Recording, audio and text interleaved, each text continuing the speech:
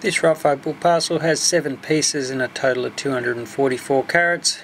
You can see a big piece but the colour's only just sitting there. Nice colour.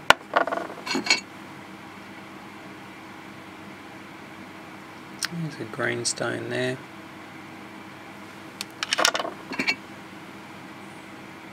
This big piece has nice colour showing up there. Looks like a vertical bar. There's another one hiding inside it as well. And another one at the end. so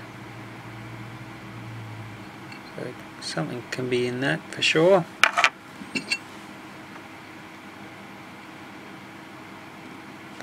There's definitely a little gem there. Don't know what else you'll get.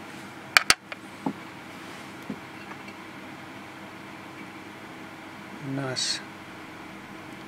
It's a bit of a mixed up knobby this one, but still has a colour bar going right the way around.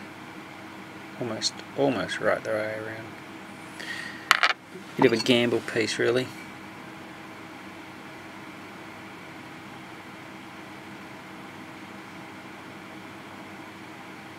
That one's not that much.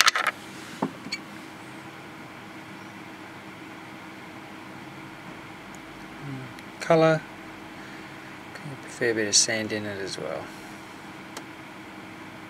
Probably be able to take this sand out and still have colour underneath and get a smaller stone sitting there. Maybe.